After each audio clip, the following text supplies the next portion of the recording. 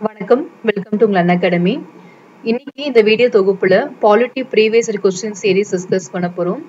Already நம்ம two thousand nineteen start பண்ணி அதுல இருபது கேள்விகள் நம்ம பார்த்தாச்சு. இன்னைக்கு பேலன்ஸ் இருக்க கொஸ்டின்ஸ் எல்லாமே பார்த்துட்டு அதுக்கு முன்னாடி வருஷம் டூ தௌசண்ட் செவன்டீன்ல குரூப் அண்ட் எக்ஸாமினேஷன்ஸ்ல பாலிட்டி சம்பந்தமா எவ்வளவு கொஸ்டின்ஸ் கேட்டிருக்காங்க அப்படின்றது எல்லாத்தையுமே நம்ம டிஸ்கஸ் பண்ணலாம். ஸோ பாலிட்டி ப்ரீவியஸ் கொஸ்டின்ஸ் ரொம்பவே இம்பார்ட்டன்ட் அதுவும் நமக்கு நெக்ஸ்ட் வீக்ல we are going to face correct one week time இருக்கு. நமக்கு குரூப் ஒன் எக்ஸாமினேஷன்ஸ் நடக்க போறதுன்றனால கம்ப்ளீட்டா எல்லா சப்ஜெக்ட்ஸ்க்கான ரிவிஷன்ஸுமே நீங்க டேக் ஓவர் பண்ணணும். ஸோ இதுல நம்ம இப்படி ரிவைஸ் பண்றது மூலயமா மேஜர் பெனிஃபிட்ஸ் உங்களுக்கு நிச்சயமா இருக்கும். ஸோ ஒன்ஸ் இந்த கொஸ்டின்ஸ் எல்லாமே பார்த்ததுக்கு அப்புறமா பாலிட்டி ப்ரீவியஸ் கொஸ்டின்ஸ் எல்லாமே பார்த்ததுக்கு அப்புறமா அன்அகாடமி பிளாட்ஃபார்ம்ல இப்போ ப்ரெசென்ட்ல என்னென்ன பேட்ச் கோர்சஸ் லைவ்ல இருக்கு அதுல என்னென்ன சப்ஜெக்ட்ஸ் நான் டீச் பண்ணிட்டு இருக்கு அண்ட் உங்களுக்கு என்ன மாதிரியான ஆஃபர்ஸ் எல்லாமே ப்ரொவைட் பண்ணியிருக்காங்க அப்படின்ற எல்லா இன்ஃபர்மேஷன்ஸுமே at end of the sessions டீட்டெயிலாகவே சொல்றேன். ஸோ தட் யாராவது நியூவா அன்அகாடமி பத்தி தெரிய வருது ஃபர்ஸ்ட் டைம் நான் அதை பத்தி கேள்விப்படுறேன் அப்படின்றவங்களுக்கு நிச்சயமா ஒரு கிளியர் கட் ஐடியா அந்த இன்ஃபர்மேஷன்ஸ்ல இருந்து உங்களுக்கு கிடைக்கும். ஸோ இன்னைக்கு டேரக்டா நம்மளுடைய செஷன்ஸ்க்கு போகலாம். ஸோ இதுல நம்ம லைவ்ல எடுக்கிறதுனால இப்போ உங்களுக்கு ஆப்ஷன்ஸ் வந்து ஒவ்வொரு கேள்விக்கும் ஆன்சர்ஸ் இருக்கும் இல்லையா? அது எல்லாமே ஜஸ்ட் நீங்க நோட் பண்ணி வச்சுக்கோங்க. இல்ல கமெண்ட்ல கொடுங்க உங்களுடைய ஆன்சர்ஸ் என்னன்னு சொல்லிட்டு. ஒன்ஸ் நான் ஆன்சர் ரிவீல் பண்ண உடனே அது கரெக்டா தப்பா அப்படின்றத எக்ஸாமின் பண்ணிக்கோங்க. ஸோ இன்னைக்கு ஒரு டென் கொஸ்டின்ஸ் பாக்குறோம்னா அவுட் ஆஃப் டென் கொஸ்டின்ஸ் நான் எவ்வளோ ரைட்டா ஸ்கோர் பண்ணியிருக்கேன்? அப்படின்றத நீங்க எக்ஸாமின் பண்ணியே ஆகணும். அப்போதான் நீங்க எந்த இடத்துல இருக்கீங்க எவ்வளவு மிஸ்டேக் பண்றீங்கன்னு தெரியும். நீங்க எதுவுமே பார்க்கல அப்படின்னா நிறைய கொஸ்டின்ஸ்க்கு நான் ஆன்சர் பண்ண மாதிரி இருக்கு அப்படின்ற மாதிரி ஒரு ஃபீல் வரும். அப்படி இல்லைன்னா நிறைய கேள்விக்கு நான் தப்பா ஆன்சர் பண்றேன் அப்படின்ற மாதிரி ஃபீல் இருக்கும். ஆனா உண்மையில அது அந்த மாதிரி எந்த சுச்சுவேஷன் இருந்திருக்காது. அதனால நீங்க எக்ஸாக்டா அவுட் ஆஃப் டென் கொஸ்டின்ஸ் இன்னைக்கு எவ்வளவு ஸ்கோர் பண்றீங்க அப்படின்றது நீங்க கெஸ் பண்ணா மட்டும்தான் நீங்க எந்த இடத்துல இருக்கீங்க அப்படின்றது உங்களுக்கு தெரிய வரும். அது மேண்டேட்ரியா பண்ணுங்க. ஸோ தட் uh, உங்களுக்கு ஒரு கான்ஃபிடன்ஸ் கிடைக்கும். அப்படி இல்லைன்னா உங்களுடைய டிராபேக்ஸ் எல்லாத்தையுமே சரி பண்ணிக்கிறதுக்கான ஒரு வாய்ப்பும் கிடைக்கிறதுக்கு சான்ஸ் இருக்கு. ஸோ டேரக்டா இன்னைக்கு நம்ம polity previous questions two thousand நைன்டீன்கான கேள்வியை பார்க்கலாம். நான் முன்னாடியே சொன்ன மாதிரி நம்ம இருபது கேள்விகள் டூ தௌசண்ட் நைன்டீன்ல இருந்து டிஸ்கஸ் பண்ணியிருக்கோம். டோட்டலா பாத்தீங்கன்னா இருபத்தி ஆறு கேள்விகள் கேட்டிருக்காங்க டூ தௌசண்ட் நைன்டீன்ல ஆனால் நம்ம இருபத்தி ஒன்னாவது கேள்வியில இருந்து ஒன் பை ஒன்னா டிஸ்கஸ் பண்ணி நம்ம கம்ப்ளீட் பண்ணலாம். இப்போ லாஸ்ட் கொஸ்டினா நம்ம என்ன பார்த்தோம்னா இருபதாவது கேள்வி. Essence of judicial activism is on அப்படின்ற மாதிரி தான் பார்த்தோம். அந்த சீரீஸ்ல இருந்து நம்ம ஒன் பை ஒன்னா ஸ்டார்ட் பண்ணலாம்.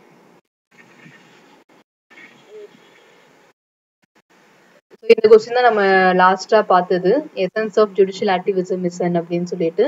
ஸோ இந்த கேள்வி எல்லாமே பார்த்துட்டோம் இதில் வந்து active judicial delivery system option A தான் சரியான பதில்.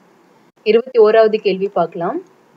Balwant Rai Mehta committee in its report suggested what அப்படின்னு கேட்குறாங்க அதாவது த்ரீ டயர் சிஸ்டம் சஜஸ்ட் பண்ணாரா? இல்ல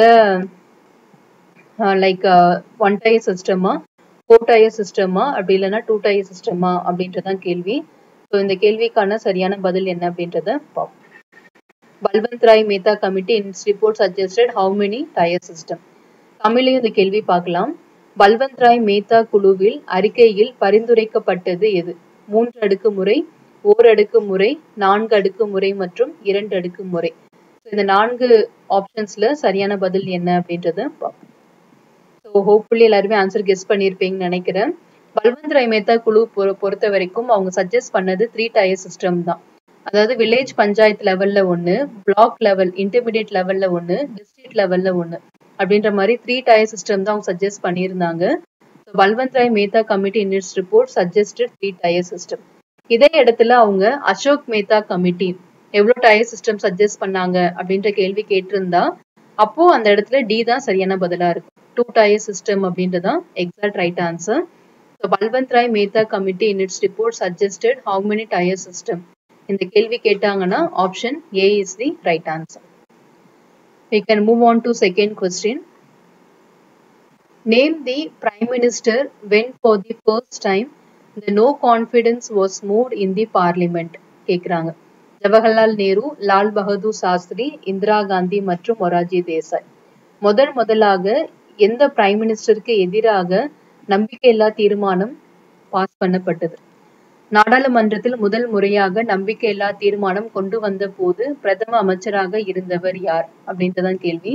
ஸோ நிச்சயமா ஆன்சர் கெஸ் பண்ணியிருப்பீங்க உங்களுடைய ஆப்ஷன்ஸ் அதாவது உங்களுடைய பேப்பர்ல ஜஸ்ட் நோட் டவுன் பண்ணிக்கோங்க. இந்த செகண்ட் கொஸ்டினுக்கு நான் இந்த பதில் தான் சூஸ் பண்ணியிருக்கேன் அப்படின்னு சொல்லிட்டு ஒன்ஸ் நான் இப்போ ஆன்சர் சொன்ன உடனே அது ரைட்டா ராங்கா அப்படின்றதையும் நோட் பண்ணிக்கோங்க. இந்த கேள்விக்கான சரியான பதில் ஆப்ஷன் ஏ ஜவஹர்லால் நேரு. முதல் முறையாக நம்பிக்கையில்லா தீர்மானம் அப்படின்றது நாடாளுமன்றத்துல அவருக்கு எதிராக தான் கொண்டு வரப்பட்டது. Because since is a first prime prime minister of India and longest duration serve பண்ணியிருக்காரு டூ கம்ப்ளீட் டேர்ம் சர்வ் பண்ணியிருக்காரு பிளஸ் அடிஷ்னலாகவும் இருக்கு. ஆனால் முதல் முறையாக நம்பிக்கையில்லா தீர்மானம் கொண்டு வரப்பட்டது ஜவஹர்லால் நேரு பண்டிட் ஜவஹர்லால் நேரு மேலதான் கொண்டு வந்திருந்தாங்க. ஸோ அடுத்த கேள்வி இருபத்தி மூன்றாவது கேள்வி பார்க்கலாம். இது வந்து ஸ்டேட்மெண்ட் பேஸ்ட் கொஸ்டின்ஸை கேட்டிருக்காங்க. ஃபோர் ஸ்டேட்மெண்ட்ஸ் இருக்கு. எல்லாமே அடிப்படை கடமைகள் அப்படின்னு சொல்லக்கூடிய ஃபண்டமெண்டல் டியூட்டிஸ்ல இருந்து கேட்டிருக்காங்க. இந்த நாலு ஸ்டேட்மெண்ட்டுமே நீங்க கரெக்டா படிச்சுட்டு எதெல்லாம் இதுல சரியா இருக்கு அப்படின்றத சூஸ் பண்ணணும் which of the following statement regarding the fundamental duties contained in the constitution of India are correct அப்படின்றது கேள்வி fundamental duties have formed a part of the constitution of India since its adoption fundamental duties are applicable only to citizen of India third statement வந்து fundamental duties have become a part of the constitution of India in accordance with the recommendation of swarang singh committee. நாலாவது fundamental duties can be enforced through writ jurisdiction. ஓகேவா இதுல எதெல்லாம் சரியா இருக்கு? முதல்ல நீங்க choose பண்ணுங்க. ஃபோர் ஸ்டேட்மெண்ட்ஸ்ல எதெல்லாம் சரியா இருக்கு அப்படின்றத சூஸ் பண்ணிட்டு அதுக்கேற்ற ஆப்ஷன்ஸ் கீழே என்ன இருக்குன்றத பார்த்து ஆன்சர் கொடுக்கணும். இந்த கேள்வி தமிழையும் பார்த்துடலாம். அதுக்கப்புறமா ஆன்சர் என்னன்றத சொல்றேன். கீழ்கண்ட கூற்றுகளில் சரியானவற்றை தேர்வு செய்க. பின்வரும் இந்திய அரசியலமைப்பு சட்டத்தின் அடிப்படை கடமைகள் குறித்து வரும் சரியான கூற்றுகள் யாவை அப்படின்னு கேக்குறாங்க. இந்திய அரசியலமைப்பு சட்டம் உருவாக்கியதில் இருந்து அடிப்படை கடமை ஒரு பகுதியாக இருந்து வருகிறது. அடிப்படை கடமை இந்திய குடிமகனுக்கு மட்டுமே பொருந்தும். மூன்றாவது ஸ்வராங் சிங் குழு மூலம் அடிப்படை கடமைகள் ஒரு பகுதியாக அரசியலமைப்பு சட்டத்தில் சேர்க்கப்பட்டது. நாலாவது நீதி பேராணைகள் மூலம் அடிப்படை கடமைகளை நிலைநாட்ட முடியும். ஸோ இந்த ஃபோர் ஸ்டேட்மெண்ட்ஸ்ல ரைட் சாய்ஸ் என்ன அப்படின்றத பார்க்கணும். ஸோ கண்டிப்பா கெஸ் பண்ணியிருப்பீங்க இல்லையா? இந்த கேள்வி பொறுத்த வரைக்கும் சரியான பதில் என்ன அப்படின்றது பார்ப்போம். சில நேரங்கள்ல இந்த மாதிரி கேள்விகளை எளிமையா ஆன்சர் பண்றதுக்கு ஒரு டெக்னிக் ஃபாலோ பண்ணலாம். என்னன்னா இந்த நாலு ஸ்டேட்மெண்ட்ல கண்டிப்பா இதுக்கு தவறு இல்ல கண்டிப்பா இது வந்து சரியா இருக்கும் அப்படின்னு சொல்லிட்டு ஏதாவது ஒரு ஸ்டேட்மெண்ட் உங்களுக்கு ஷியூரா தெரியும். அந்த ஸ்டேட்மெண்ட் மட்டும் சூஸ் பண்ணிக்கோங்க. ஃபார் எக்ஸாம்பிள் இங்க இருக்கக்கூடிய நான்கு ஸ்டேட்மெண்ட்ஸ்ல எல்லாருக்குமே ஓரளவுக்கு இந்திய அரசியலமைப்பு நான் வந்து இப்பதான் படிக்க ஸ்டார்ட் பண்ணிருக்கேன் அப்படின்னு சொல்லக்கூடிய ஆஸ்பிரன்ஸ்க்கு கூட இந்த நான்கு ஸ்டேட்மெண்ட்ல ஒரு ஸ்டேட்மெண்ட் வந்து கண்டிப்பா சரி அப்படின்றது தெரியும். என்னன்னு பாத்தீங்கன்னா இந்த ஸ்வரான் சிங் கமிட்டி அப்படின்னு சொல்லக்கூடியது. ஓகேவா ஸ்வரான் சிங் குழு மூலம் அடிப்படை கடமைகள் ஒரு பகுதியாக அரசியலமைப்பு சட்டத்தில் சேர்க்கப்பட்டது. அப்போ த்ரீ ஆப்ஷன்ஸ் கண்டிப்பா வரும் அப்படின்னு பார்க்கும்போது உங்களுக்கு இந்த பி ஆப்ஷன் நீங்கள் எலிமினேட் பண்ணிடலாம் ஓகேவா இது வந்து சரியானதை வச்சு கெஸ் பண்றது. இன்னொன்று ஈஸியா இன்னும் ஈஸியா சூஸ் பண்ணணும் அப்படின்னும் போது நீங்க தவறான ஸ்டேட்மெண்ட் எதுன்றது கண்டுபிடிங்க. நீதி பேராணைகள் மூலம் அடிப்படை கடமைகள் நிலைநாட்ட முடியும். ஓகேவா ரிட் ஜூரிஸ்டிஷன் அப்படின்றது சரத்து முன்னூத்தி சாரி முப்பத்தி இரண்டுல வந்து கொடுத்துருக்காங்க. அது அடிப்படை கடமைகள் சம்மந்தப்பட்ட விஷயங்கள்ல அடிப்படை உரிமைகள் சம்மந்தப்பட்டது ஃபண்டமெண்டல் ரைட்ஸோட அசோசியேட் ஆனது டிபிஎஸ்பியாக இருக்கட்டும் இல்ல ஃபண்டமெண்டல் டியூட்டிஸா இருக்கட்டும் ரெண்டுத்துக்குமே உங்களுக்கு ரிட் ஜூரிஸ்டிஷன் மூலியமா கொண்டு வர முடியாது. ஸோ அப்படி பார்க்கும்போது உங்களுக்கு இந்த ஃபோர்த் ஆப்ஷன் நிச்சயமா தவறுன்னு தெரிஞ்சிருச்சுன்னா நாலாவது அப்படின்னு கூடிய ஆப்ஷன்ஸ் நிச்சயமா வராது. அப்போ உங்களுக்கு பி எலிமினேட் ஆயிரும் டியும் எலிமினேட் ஆயிரும். ஏதர் ஆப்ஷன் வந்து இந்த இடத்துல ஏவா இருக்கணும் இல்லை சியா இருக்கணும். இப்போ நீங்க மற்ற ஸ்டேட்மெண்ட்ஸ் எல்லாமே படிக்கணுன்ற கூட அவசியம் இல்லை. டூவும் த்ரீயும் மேலையும் இருக்கு கீழேயும் இருக்கு. இப்போ உங்களை பொறுத்த வரைக்கும் இந்த ஃபர்ஸ்ட் ஸ்டேட்மெண்ட் கரெக்டா தப்பான்னு மட்டும் நீங்க கெஸ் பண்ணணும். அவ்வளவுதான். நான் சொல்ற வரது கிளியரா புரிஞ்சுக்கோங்க. ஏன்னா நம்ம வந்து சில நேரங்கள்ல அவசரமா தேர்வு எழுதிட்டு இருக்கோமோ நமக்கு தேர்வு ரியலா எடுத்துட்டு இருக்கோமோ நமக்கு நிறைய ப்ரெஷர்ஸ் இருக்கும். அந்த நேரத்துல நமக்கு தெரிஞ்ச பாயிண்ட்ஸ் கூட நமக்கு தெரியாம போறதுக்கு நிறைய வாய்ப்புகள் இருக்கு. இல்ல நம்ம ஏதோ நினைச்சிட்டு நம்ம தவறான பதில கொடுக்கறதுக்கும் வாய்ப்பு இருக்கு. ஸோ இந்த மாதிரி சின்ன சின்ன தவறுகள் நடக்காம பாத்துக்கணும் அப்படின்னா இந்த மாதிரியான டெக்னிக்ஸ் ஃபாலோ பண்றது மூலியமா தான் தடுக்க முடியும். நான்கு ஸ்டேட்மெண்ட்ல எது தவறுன்றது முதல்ல முடிவு பண்ணிட்டீங்கன்னா பியும் டியும் கண்டிப்பா எலிமினேட் ஆயிரும். ஏயும் சியும் பார்க்கும்போது செகண்ட் ஸ்டேட்மெண்ட் தேர்ட் ஸ்டேட்மெண்ட் கண்டிப்பா சரின்றது நமக்கு தெரிஞ்சிருச்சு. ஏன்னா ரெண்டுத்துலயுமே அது பிரசன்ட் ஆயிருக்கு இப்போ இந்த ஃபர்ஸ்ட் ஸ்டேட்மெண்ட் மட்டும் தான் நீங்க வந்து சூஸ் பண்ணணும். இந்திய அரசியலமைப்பு சட்டம் உருவாக்கியதில் இருந்து அடிப்படை கடமை ஒரு பகுதியாக இருந்து வருகிறது. ஸோ நமக்கு பார்ட் ஃபோர் ஏல தான் அது இன்க்ளூட் பண்ணியிருக்காங்க ஏ பி இந்த மாதிரி ஏதாச்சும் ஒரு இடத்துல நீங்க பாத்தீங்கனாலே அது வந்து ஒரிஜினல் கான்ஸ்டியூஷன்ல இல்ல.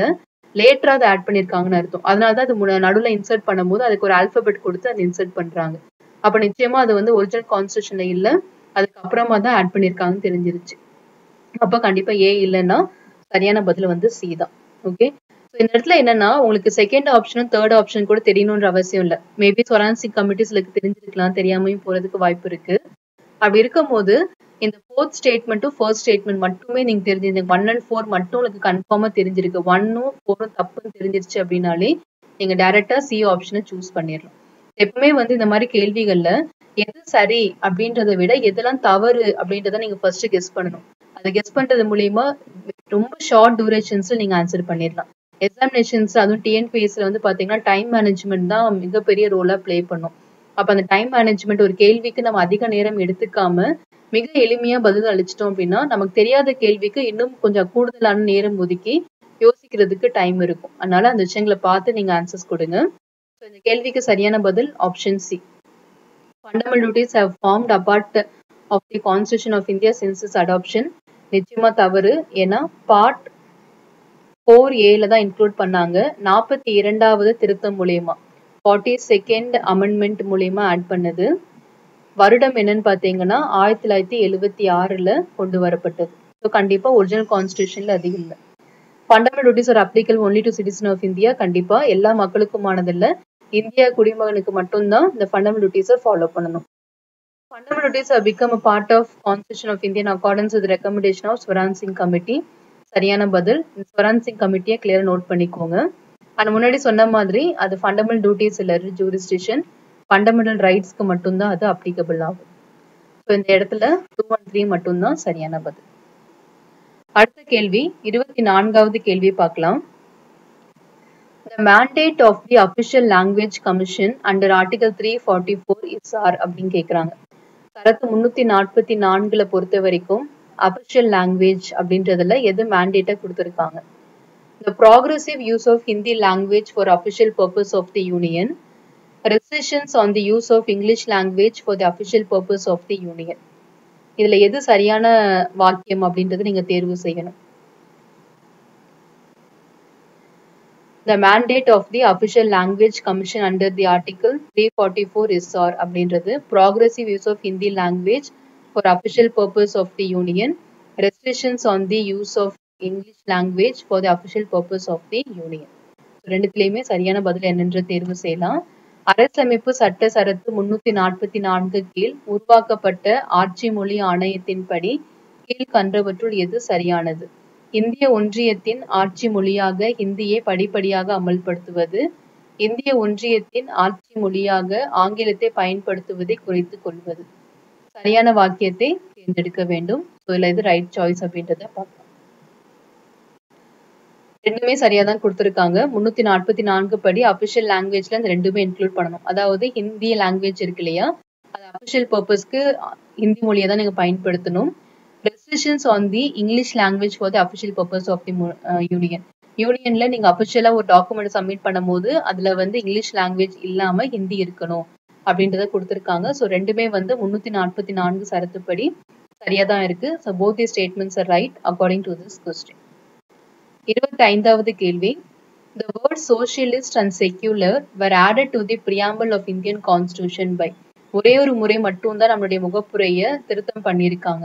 ரொம்ப ரொம்ப இம்பார்ட்டன்டான திருத்தம். அது ஏன்னா சின்ஸ் ஒரே ஒரு டைம் அதுவும் நடக்கிறதுக்கு முன்னாடி நிறைய கேசஸ் வேற போட்டிருந்தாங்க. சார் வந்து பண்ணணும்னு சொல்லியிருந்தாங்க. சார் பண்ணக்கூடாதுன்னு சொல்லியிருந்தாங்க. சுப்ரீம் கோர்ட் முதல்ல ஜட்மெண்ட் கொடுக்கும் போது பண்ணக்கூடாதுன்னு சொல்லியாச்சு. அதுக்கப்புறமா பண்ணலாம் அப்படின்னு சொன்னாங்க. பண்ணலாம் அப்படின்றதுக்கு அப்புறமும் எப்படி பண்ணணும் அப்படின்றதுக்கு ஒரு ஜட்ஜ்மெண்ட் வந்துச்சு. ஸோ நிறைய ஜட்ஜ்மெண்ட் இதோட சம்மந்தப்பட்டதுன்றதுனால பிரியாம்பல்ல ஏற்படுத்தப்பட்ட